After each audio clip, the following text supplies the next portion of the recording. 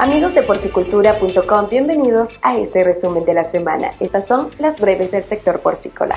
Tomó protesta Francisco Jaraleño Lara como nuevo presidente del Consejo Mexicano de la Carne para el periodo 2025-2026.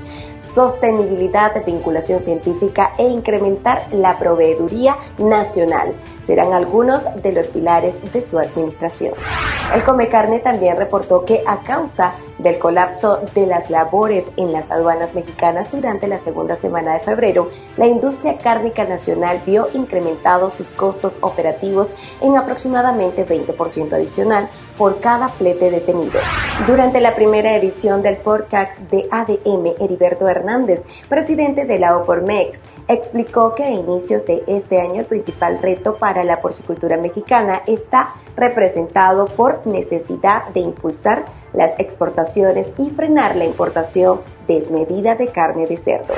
El Grupo Consultor de Mercados Agrícolas reportó que México cerró 2023 con una balanza agroalimentaria superavitaria por algo cercano a los 8.500 millones de dólares, gracias a un incremento de más de 3% en el valor de las exportaciones. Se obtuvieron ingresos por estas ventas por un total de 51 mil millones de dólares.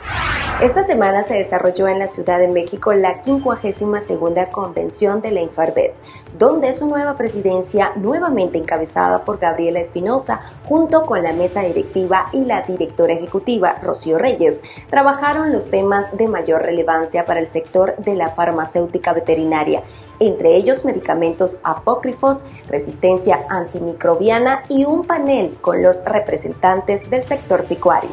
Gracias por acompañarnos en la breve del sector porcícola. Ahora ya están bien informados. Que pasen excelente fin de semana.